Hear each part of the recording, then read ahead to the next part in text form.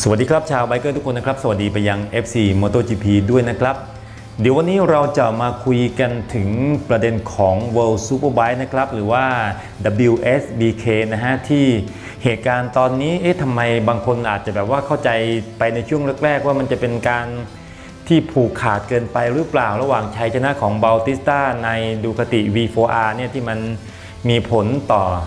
หลายๆคนนะครับ โดยเฉพาะแชมป์เก่าจากคาวาสกิโจนาธานเลียเนี่ยจะยังสามารถป้องกันแชมป์ได้ไหม นั่นก็คือเหตุการณ์ในประมาณ 5-6 สนามแรกนะครับ แต่ตอนนี้รู้สึกว่ามันกลับตลปัดนะครับ ถ้าเราดูตัวเลขคะแนนตอนเนี้ยกลายเป็นว่าแชมป์เก่าเนี่ยเริ่มที่จะออกลายแล้วนะครับ เริ่มที่จะเหมือนประมาณว่าแสดงความ ข็งแกร่งออกมานะฮะในขณะที่คนที่ร้อนแรงที่หลายๆ คนนั้นเชียร์อย่างดูคตินะครับอัลวาโรบอลติสตาเบอร์ 19 เนี่ยล้มแล้วก็พลาดไม่มีคะแนนไปแบบง่ายๆเนี่ยถึง 3 สนามนะครับ ตารางคะแนนตอนนี้มันเลยกลายเป็นว่าจนาธาเลียเนี่ยมีคะแนนนำบาลติสตาอยู่ถึง 24 คะแนนนะครับในอีก 5 สนามแล้วก็ 15 เรสนะครับ ใครที่มาตาม World Superbike ใหม่ๆเนี่ยอาจจะงงนะครับ เดี๋ยวผมขอบอกไปนิดนึงนะครับว่า World Superbike เนี่ยแข่งกันสนามละ 3 ครั้งนะฮะก็จะแบ่งออกเป็นการแข่งขันแบบคะแนนเนี่ยมันจะต่างกันที่คะแนนนะครับ อย่างเลส2เลสแรกก็จะเป็นมันจะมี 2เลสแรกเนี่ยที่ 1 ก็ 25 ใช่ไหมฮะที่ 2 20 ที่ 36 อย่างเงี้ยแล้วมันก็จะมีแค่ 8 ตำแหน่ง มันไม่เหมือน MotoGP นะครับ MotoGP เนี่ยจะมีอยู่ 15 15อ่า15 คันใช่ไหมที่ได้คะแนนไล่ตั้งแต่ 1 แต้มลงมาจนขยับขึ้นไปถึง 25 แต้ม ในขณะที่ World Superbike เนี่ยมีคะแนนในแค่ 8 แต่เออ8คนนะครับ ในขณะที่อีกเลสหนึ่งก็คือเลสซูเปอร์โพลอันนี้ก็จะเป็น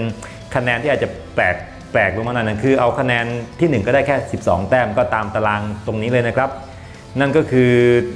ทางผู้จัดเขาให้เหตุผลว่าทำไมถึงจะต้องแข่งกันหลายครั้งนะเพื่อที่จะให้นักแข่งเนี่ยมาได้มีโอกาสแก้มืออีกครั้งหนึ่งนะฮะหรือบางทีบางครั้งซื้อตั๋วอะไรเข้ามาดูปุ๊บเนี่ยก็ให้มันคุ้มไปเลยนะฮะเพราะว่าอ่าต้องบอกนะครับว่า World Superbike มันอาจจะความฮอตฮิตความนิยมมันอาจจะสู้ MotoGP ไม่ได้ดังนั้นผู้จัดเขาก็เลยแก้ลำแบบนี้ แต่บางคนก็แอบบ่นนะครับว่ามันน่าเบื่อเกินไปอะก็ว่ากันไปตามความถนัดความชอบเนาะ ทีนี้เรามาไล่เรียงดูนะครับว่าเส้นทาง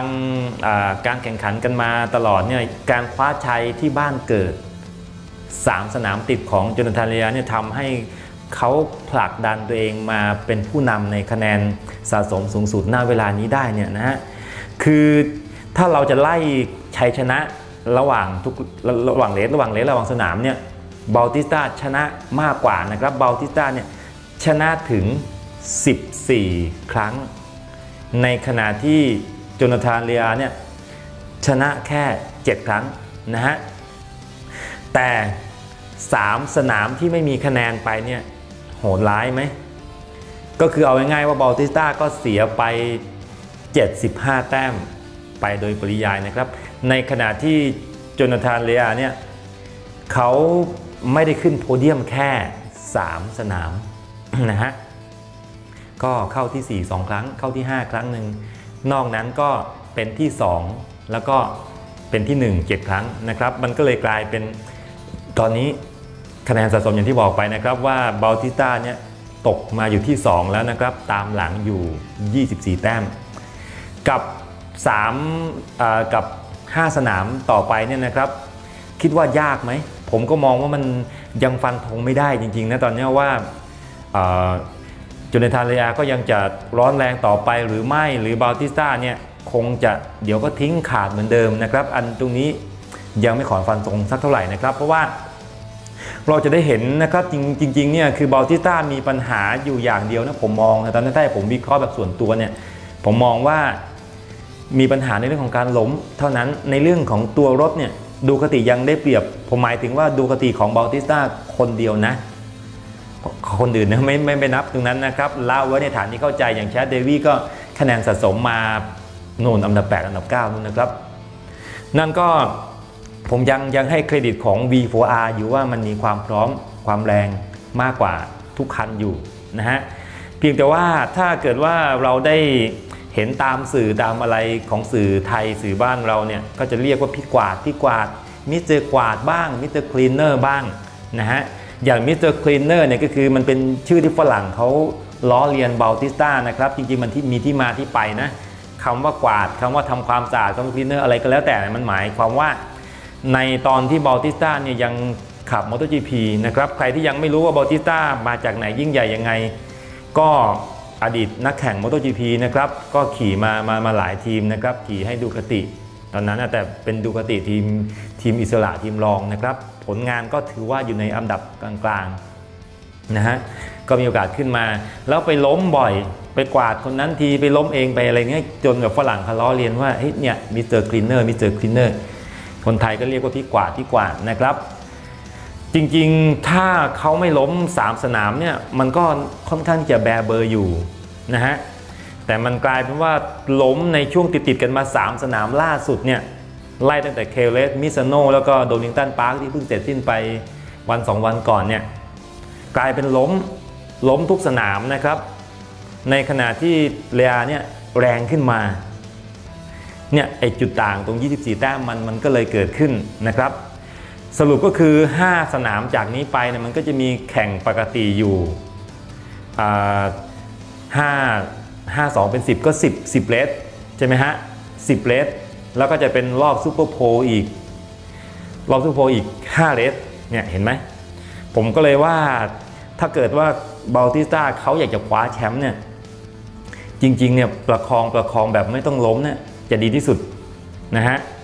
ความได้เปรียบในตัวรถเนี่ยผมยังเชื่อมั่นนะ ไม่รู้ว่าใครจะคิดเหมือนผมหรือเปล่าหรือว่าคิดต่างไม่เป็นไรนะ ผมยังเชื่อมั่นว่า V4R เนี่ยได้เปรียบทุกคนเลย นะครับ แต่กลายเป็นล้มเยอะก็มามามาล้มแบบต่อเนื่องสามสนามติดแบบเนี้ยมันชัยชนะคุณมากกว่าก็จริง แต่คุณไม่มีแต้มส่วนต่างถึง 75 แต้มอะมันมันก็น่าเสียดายนะครับ ตรงนั้น ทีนี้คาวาซากิถามว่ามันเร็วมันแรงไหมถ้าตัด V4R ออกไป ผมก็ว่าแรงกว่าทุกค่ายอยู่ คือหลังๆเนี่ยเราจะเห็นคาวาซากินี่เหมาโพเดียมตลอดเลยนะฮะถือถ้าบางทีนำมาดีๆอย่างเงี้ย อาจจะมีมีล้มมีอะไรแต่ผมผมก็เห็นรู้สึกว่าจะ2อสามเลสหลังๆ มาเนี่ยมีเหมาโพเดียมนะครับไล่ตั้งแต่โยนาธานเรียอาแชมป์เก่านะครับ แล้วก็เป็นคู่หูลีอองฮาร์สแลมเนี้ยแล้วก็นักบิดของอตุรกีนะครับทอปักลัสกาเดียกรูเนี่ยคนนี้ก็มาแรงนะก็ลีลาการขับดูดัน อาจจะมีล้มมีอะไรไปไปอยู่บ้างนะครับ แต่บางสนามนี่ก็ไล่จี้ไล่ขึ้นมาฟาดฟันกับ โจนาธานเรียเนี่ยได้อย่างสนุกสนานนะฮะ ในขณะที่อีกคนหนึ่งของความหวังของยามาฮ่าพาต้าเนี่ยเสียดายไปพลาดล้มไป แต่คะแนนสะสมเขาก็ยังตามมาเป็นอันดับ 3 คือตามมาห่างๆนะฮะ ก็ยังไงก็คงจะได้ลุ้นแค่ที่3นะที่ที่2ก็คงจะไม่ได้ลุ้นนะครับสำหรับไมเคิลฟานเดอร์มาร์กนะฮะที่ไม่มีไม่มีแต้มนะบาดเจ็บไปเนี่ยถึง 3 สนามนะครับล้มไป อย่าง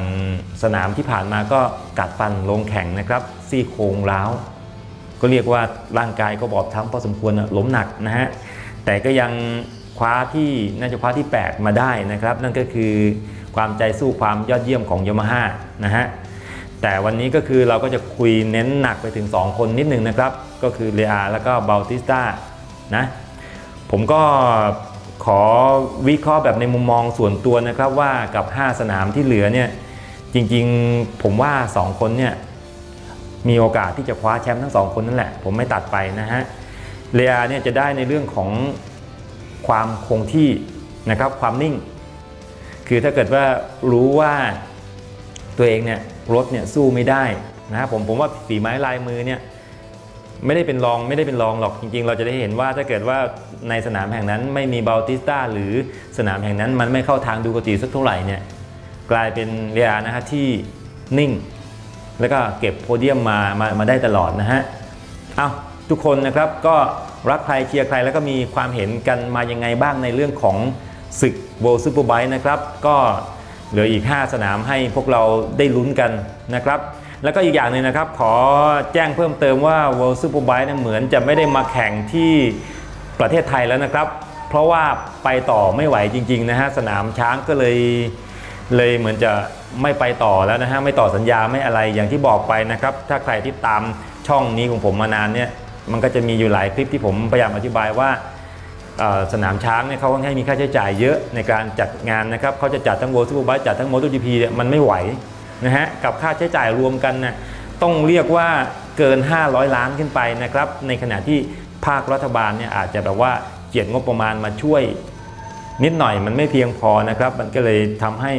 เราอาจจะไม่ได้เห็น World Superbike มาแข่งในบ้านเรา